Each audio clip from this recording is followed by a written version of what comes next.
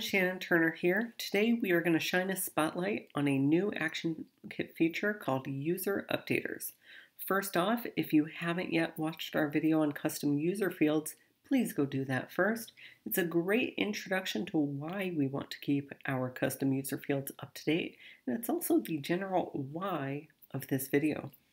Check the description of this video for the link to that video and much more. So you've watched the feature spotlight video on custom user fields, which means that you have created some custom user fields. You've probably also imported historical data that took a long time to calculate. Like for instance, historical donation data across the years, maybe things like how many donations did this user make in calendar year 2020. And you stored all of that custom all of that information into a custom user field using an import. That's great, and it works really well for historical data. But user updaters are all about how can we keep this data up to date. Now, for a lot of custom user fields, you do that once, right? It's a it's a one-time thing. Historical data not going to change months, change much. The amount of money someone gave in 2020, that's over and done with. But other custom user fields do need to be updated regularly, especially if they're not historical data, but they're current data. And for these types of fields, like for instance, how much money can someone give this year before they max out? Fields like that need to be kept up to date regularly if they're going to be useful. And yeah, you could run a manual import every single day or every single week to keep that up to date. But these types of manual processes, they're time consuming, they're tedious, they're easy to make mistakes, they're easy to skip or forget to do it. You've got better things to do.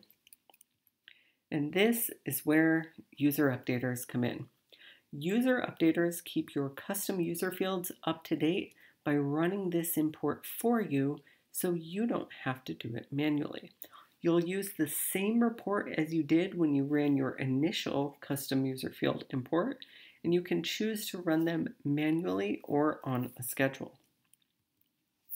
And if you're thinking, Shannon, I'm sold, how do I do this? Here's how. First, we're going to either create a new report or reuse one that we've already used to import our custom user field information. Next, we need to make sure that our report's column names match our custom user fields. If you've seen our custom user fields video, you've seen how we do this. Third, we need to make sure that we're only including relevant columns in this report.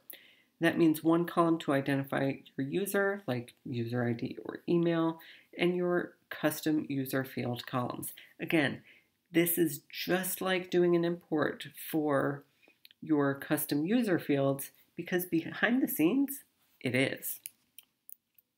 Here's an example of what that might look like. Here I have a report called User Updater Max Out 2021. And this tells me how much money can this user give before they, uh, quote, max out for the year. And this is something that candidates and political parties are often interested in there's limits on how much a person can give in a given year or cycle. And uh, of course, uh, the, the amounts may differ uh, depending on the laws in your area, but lots of clients ask how to set something like this up, so that would be worth giving, giving an example. We've got one column for the user ID, so we know who this is about. And then we have a second column with some custom SQL code. This says 2800 minus, and to be honest, I actually copy pasted the rest of this SQL code that you see here, where it says sum, select sum, core transaction. I actually copied that code from the query builder uh, when I asked it for the total amount of donations made in calendar year 2021. And importantly, I've named this column User Max Out Amount 2021 to match my custom user field. Finally, I've got filter criteria limiting this to only give me donors who have given in calendar year 2021.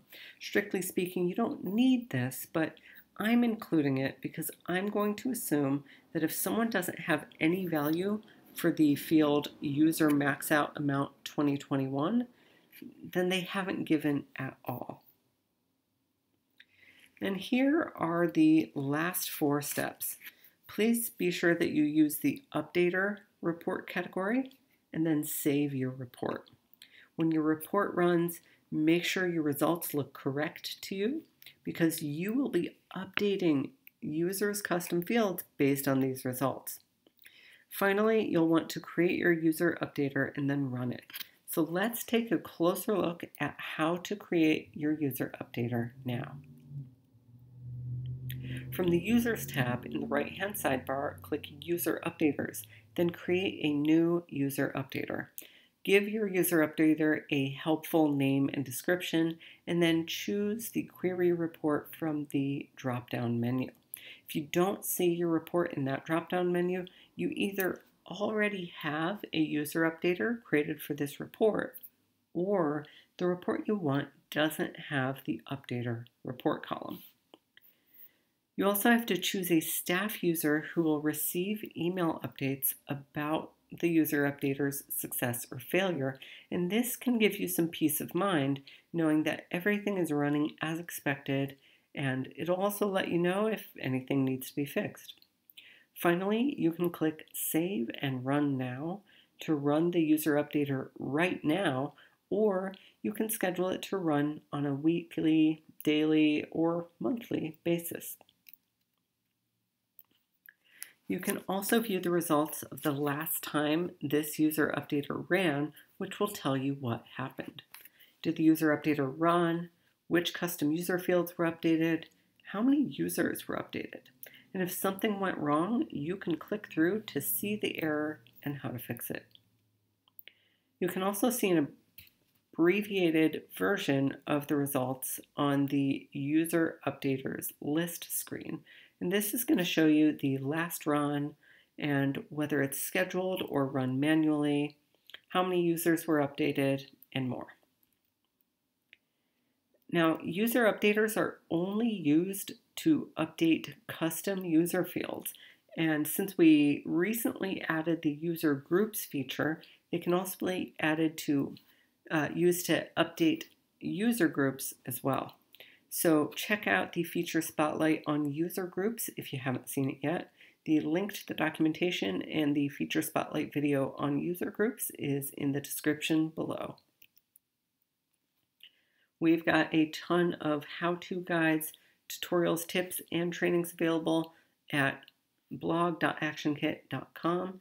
For more about user updaters, check out our documentation. Link is going to be in the description below. And you might also be interested in the feature spotlight video on user groups, which user updaters can use to add and remove users from. All of these links and more available in the description. Please be sure to check out our other feature spotlights. And until then, I will see you in support.